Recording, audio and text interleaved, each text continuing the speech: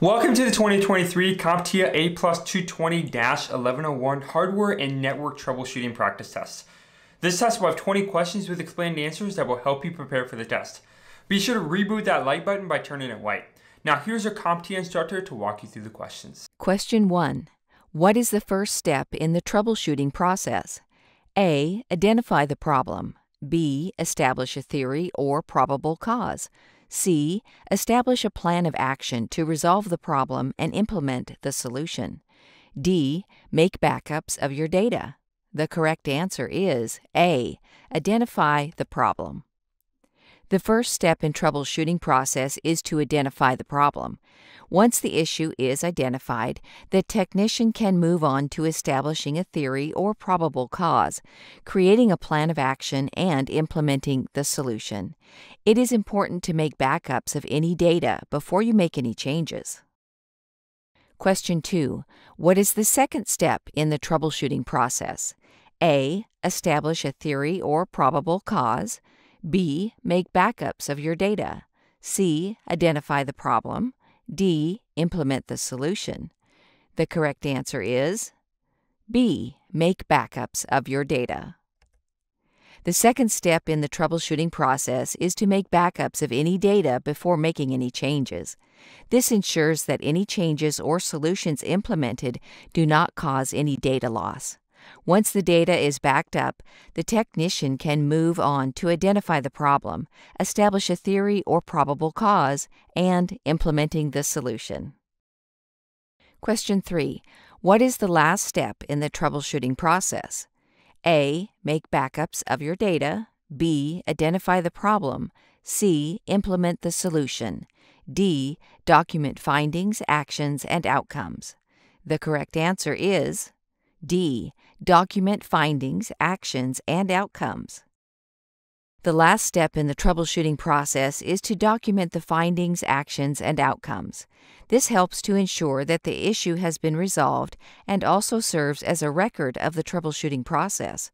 Once the documentations have been made, the technician can then move on to make backups of any data before making any changes, identifying the problem, and implementing the solution. Question 4. What should be done before making any changes in the troubleshooting process? A. Establish a theory or probable cause. B. Make backups of your data. C. Implement the solution. D. Document findings, actions, and outcomes. The correct answer is B. Make backups of your data.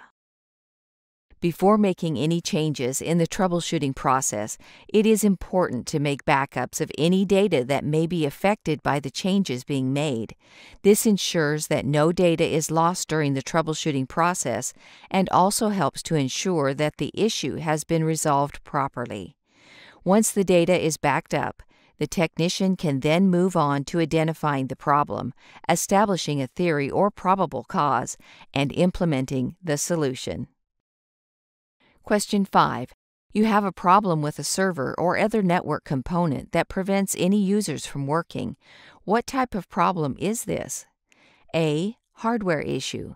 B. Software issue. C. Shared resource issue. D. Network issue. The correct answer is C. Shared resource issue. When many users are unable to work due to a problem with a server or other network component, it is likely that this is a shared resource issue. This type of problem can be caused by hardware, software, or network issues and requires further investigation in order to identify the root cause. Once the cause has been identified, it can then be addressed appropriately. Question 6. A single window user suddenly can't connect to any hosts on the network, local or remote. Jerry, the IT technician, suspects this could be a DNS issue. What should Jerry do next in the troubleshooting process? A. Establish a theory or probable cause. B. Make backups of your data. C. Implement the solution. D. Test the theory to determine cause. The correct answer is D. Test the theory to determine the cause. After suspecting that this could be a DNS issue, Jerry should test his theory to determine if it is indeed causing the problem with connecting to hosts on the network, local or remote. Once he has tested his theory and determined if it is true, then he can move on to making backups of any data before making any changes, establishing a plan of action to resolve the problem and implement the solution, and document findings, actions, and outcomes. Question 7. Susan has a network with a domain name system, DNS server, a proxy server, and an internet router.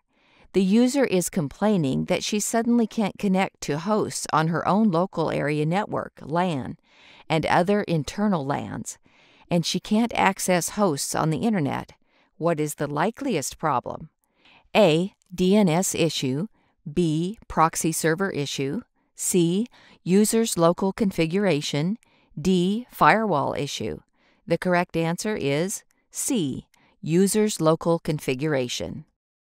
A network routing issue is the likeliest problem in this scenario, as it would explain why the user cannot connect to hosts on their own LAN or other internal LANs, as well as why they cannot access hosts on the Internet. It is possible that a DNS or proxy server could be causing the problem, but it is more likely that there is a problem with how data is being routed between networks or devices. Question 8. Jill is working on the help desk when a user calls and reports that she is unable to connect to the Internet. Which of the following steps is the one Jill is least likely to perform first when troubleshooting the problem? A. Check the user's job title to see if she is an important person in the company. B. Ask the user to restart her computer. C. Check the configuration of the modem connecting the LAN to the Internet. D. Test connectivity between two machines on the same network. The correct answer is D. Test connectivity between two machines on the same network.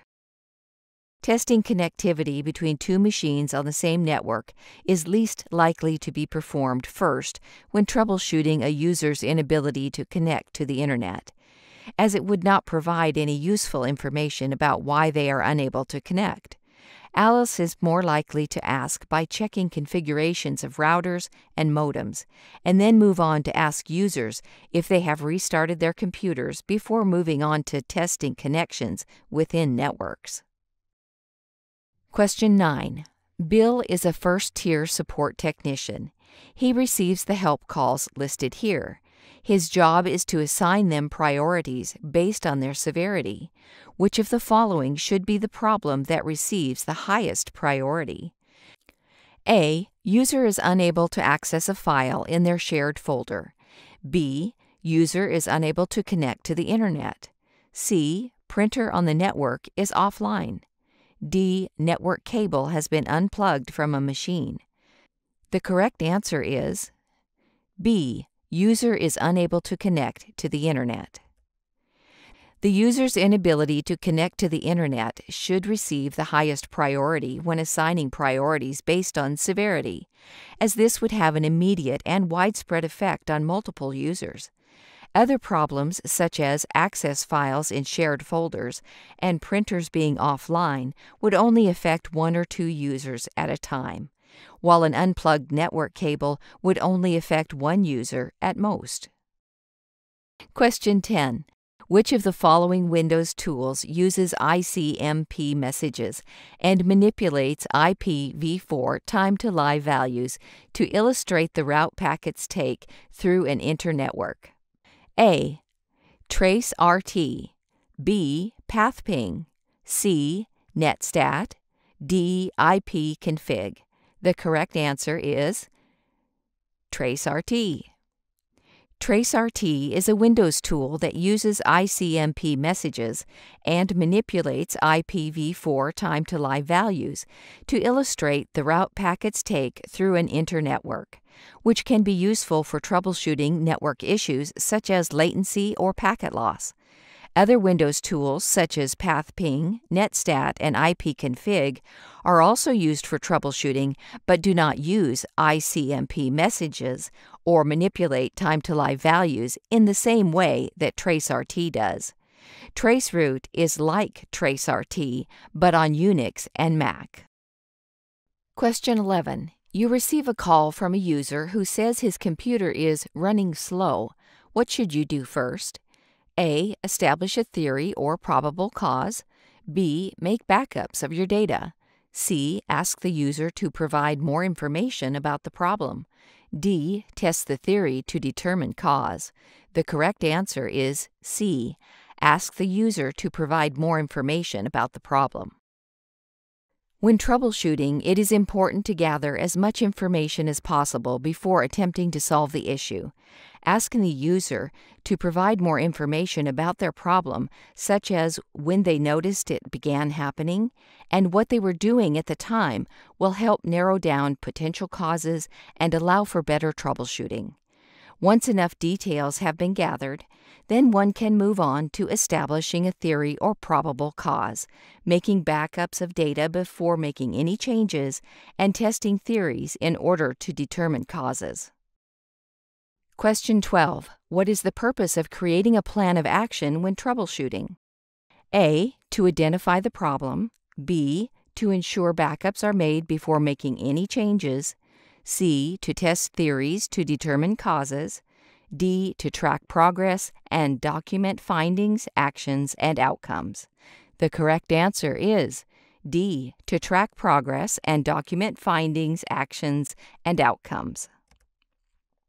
Creating a plan of action when troubleshooting helps to track progress throughout the process, as well as allowing for documentation of findings, actions taken, and outcomes achieved during resolution efforts.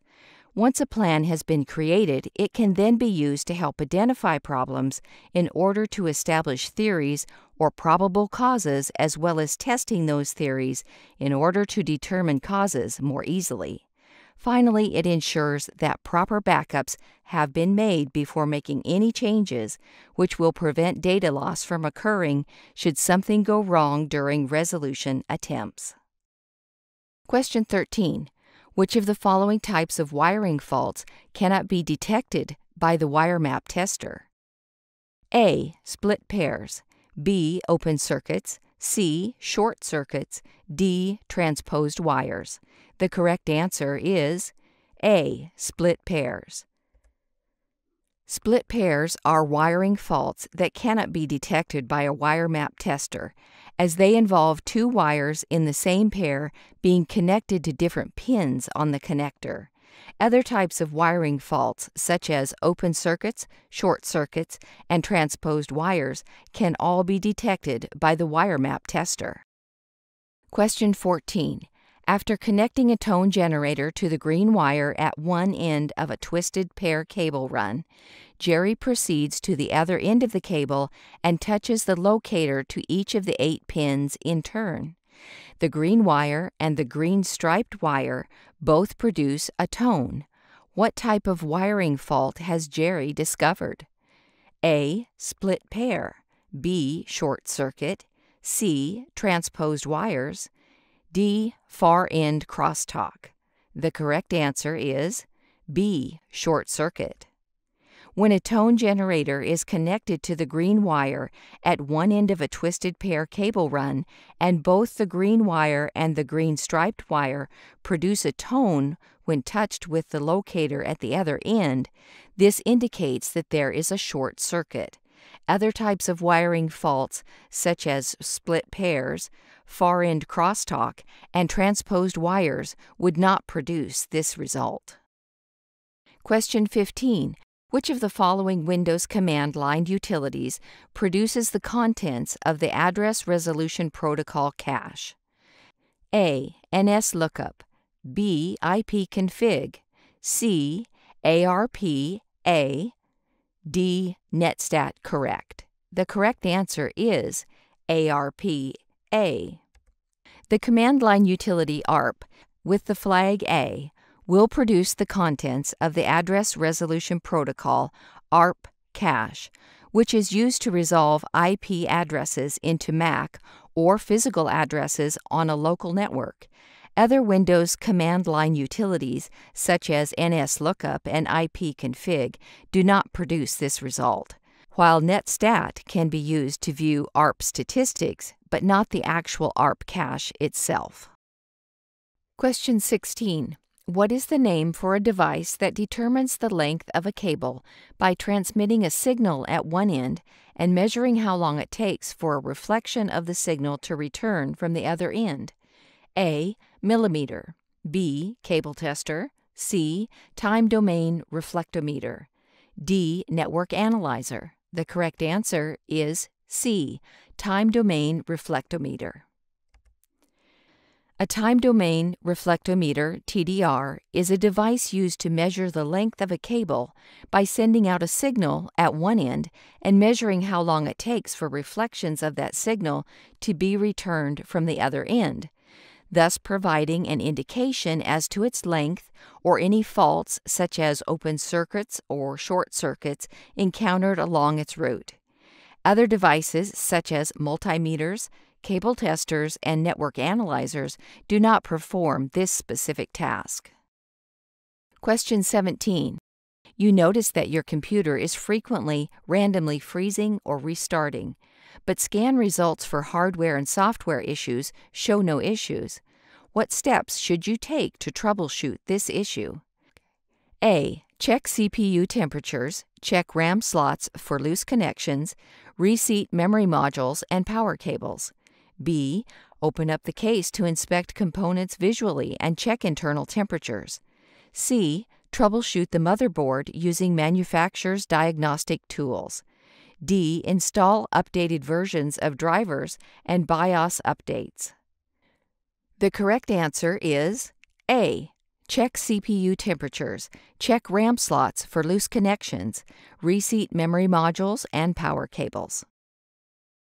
Whenever a computer is showing signs of random freezes or restarts, it can be helpful to start with basic checks, such as inspecting physical components, such as checking RAM slots for any looseness or damage, reinstalling all power supply cables connectors within the system unit to ensure adequate electricity flow, running diagnostics on all installed parts like processors, RAMs, etc. Question 18. You have received a new server, and the RAID 5 array will not boot. What steps should you take to troubleshoot this issue? A. Check all power cables are connected. Check BIOS settings are correct. Run diagnostics on each drive in the array. B. Update software drivers and firmware versions for each drive. Inspect physical components visually for damage, looseness. C. Reset drives that appear to be failing or missing from the boot order list. Replace any failed drives with known good ones. D. Test network connection between devices to ensure it is functioning properly. The correct answer is A. Check all power cables are connected, check BIOS settings are correct, run diagnostics on each drive in the array. When dealing with an issue related to RAID arrays, such as a failure during initialization or reboot attempts, it is important firstly ensure external connections, especially power cabling, etc., is secure. Proceed further by checking BIOS configuration at Settings, then running individual diagnostic scans of installed drives against the manufacturer's recommended parameters. Question 19. The video on the projector has lost its sharpness and clarity. What should be done to troubleshoot this issue? A. Change signal connectors. Update graphics drivers. Change resolution settings. B. Clean lens filters. Check power cables are connected properly. Adjust brightness, contrast, color levels of image on projector. C. Check refresh rate is compatible with display device. Try a different VGA connection cable. D. Reinstall operating system for updated versions of software. The correct answer is B. Clean lens filters. Check power cables are connected properly. Adjust brightness, contrast, color levels of image on projector. These are the possible steps to troubleshoot a video that lost sharpness and clarity. The other options do not relate directly to the issue discussed. Question 20. You are attempting to connect a mobile device to Wi Fi, but the connection fails. What should you do? A. Update firmware. Turn airplane mode off on. Adjust settings on router. B. Reset network configuration settings of device. Adjust wireless channel setting on router. C. Change signal connectors. Update graphics drivers. D. Reinstall OS for updated versions of software. The correct answer is B. Reset network configuration settings of device. When dealing with failed connections within portable electronic gadgetry, possessing capabilities connecting toward distant access points, better first initiate soft reset upon all previously configured networking protocols. Then progress further by changing Wi Fi hotspot private channel frequency, since overextended utilization generally can lead issues taking place. Otherwise, simply double checking if disabling plane mode present accordingly. Setup process needs doing again would prevent symptoms such irritation immediately. Thank you for watching this video. We hope you enjoyed it. Check out these videos that can help you with your CompTIA exam. If you need more help beyond these videos, we have free practice tests on our website. We have all the links down in the description below. Don't forget to reboot that like button and subscribe to our channel.